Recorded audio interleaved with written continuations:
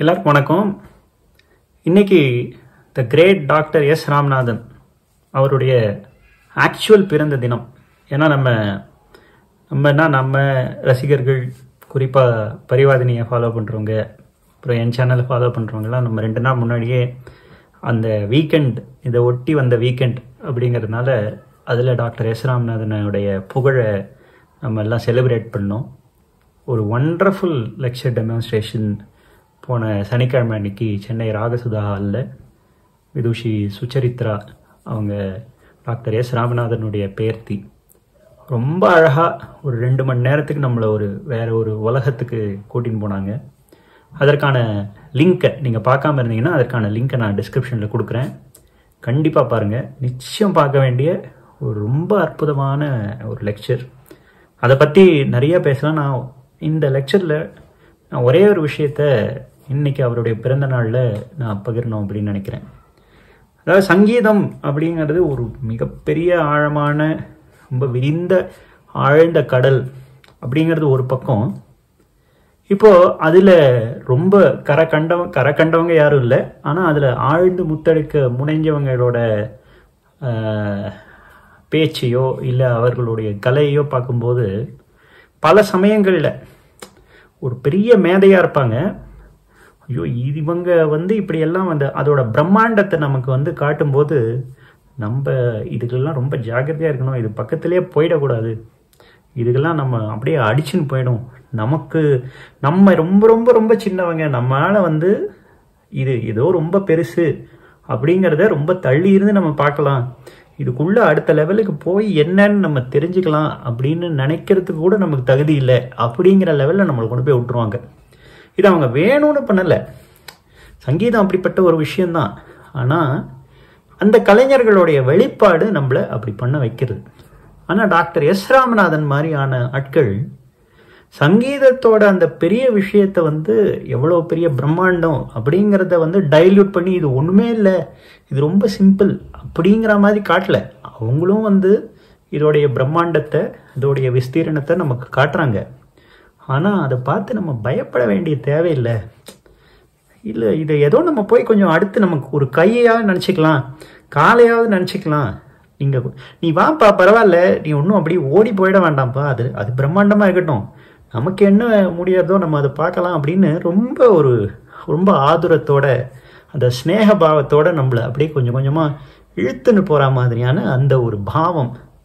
அது அவருடைய ப்ரெசன்டேஷன்ஸில் அது அவருடைய பாடல் ப்ரெசன்டேஷன் கச்சேரிகளாக இருந்தாலும் சரி அவருடைய லெக்சர்ஸாக இருந்தாலும் சரி யாரையும் பயமுறுத்தாத அந்த ஒரு துணி இந்த ப்ரெசன்டேஷனில் சுச்சரித்ரா அவர்கள் ப்ரெசென்ட் பண்ணும்போது அது ஒவ்வொரு இடத்துலையும் அதை கேட்கவர்கள் கேட் கேட்கிறவங்க மேலே அவருக்கு இருந்த அந்த கரிசனம் அந்த அன்பு அந்த மரியாதையை குலைக்காத அதே சமயத்தில் அந்த அன்பையும் சேர்த்து இருக்கிற அந்த அந்த ஒரு அற்புதமான ஒரு ஃபீலிங் எனக்கு அந்த லெக்சர் முழுக்க ஏதோ அவர் கூடயே இருந்த மாதிரியான ஒரு ஒரு பிரம தட்டித்து அதனால் அந்த லிங்கை நான் வந்து உங்களுக்கு கொடுக்குறேன்.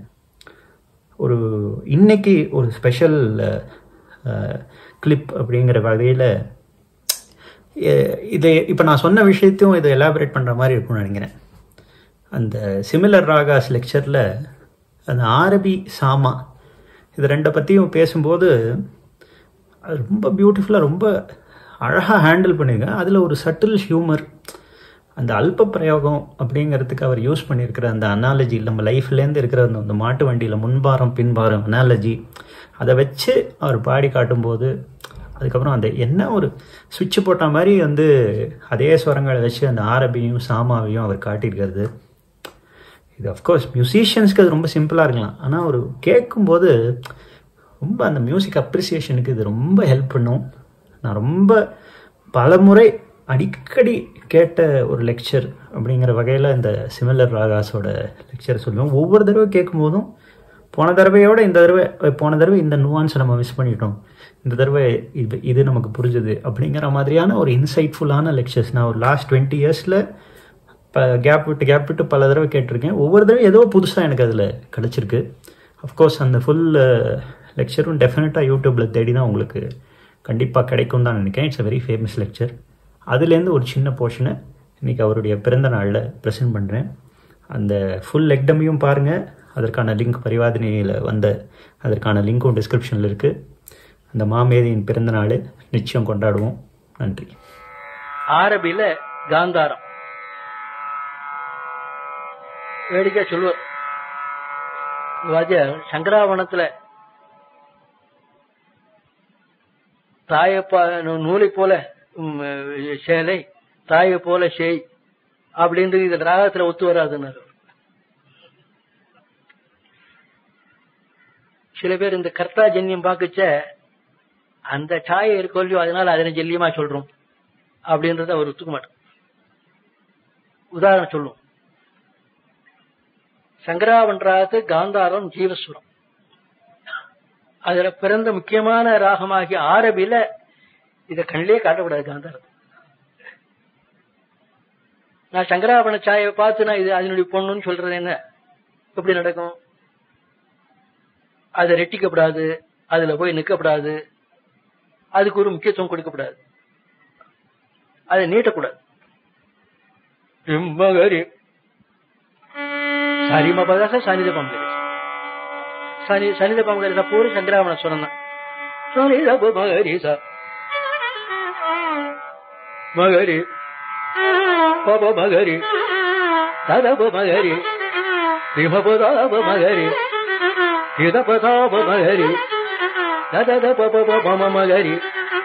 மற்ற எல்லாத்தையும் வெட்டிக்கலாம் அங்க வந்தா அவன் ஒரு தரம் மகரி ரிரி பப மகரி. ரி ரத பப மகரி. ரி மகரி ரி ததா ததி ததி தரி இத பத ததி ததி தனி தத பப ம மகரி ததி ததி தரி விமகா கொஞ்சம் ஆரம்பி போய்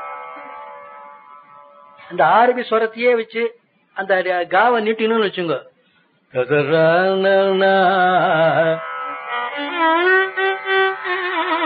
ஆரம்பி ஸ்வரம் தான்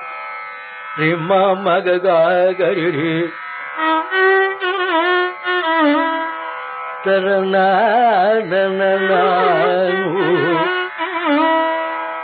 எங்க போச்சு என்ன? மகரி. பாமகரி அதே மாதிரி மேல உத்தராங்கத்துல. சனி தாதாப்பா சதா தாதாபா சாசா தாதாப்பா சொன்னாலும் சரியா இருக்கும். அது எவ்வளோட அல்ப பிரயோகம்னா நிஷாதம் காந்தாரம் நிஷாதமே சொல்லாமனா கூட பரவாயில்ல. அப்படி ஒரு கீதம் இருக்கு. பாப மம ப மகரி சரி மகரி ரி சதா தரி சரி ரி சரி மகரி ரி சதா பாப மம பாப மப மகரி ரி.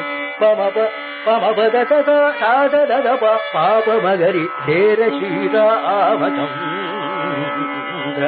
அரகுபம் சதிலகா இந்த முன்பாரம் பின்பாரம்னு கேள்விப்பட்டீர்கள் இல்லையா? மாட்டு வண்டியில போறவாளுக்கு தெரியும். மாட்டு வண்டி குதிரை வண்டியில போற வாழ்க்கை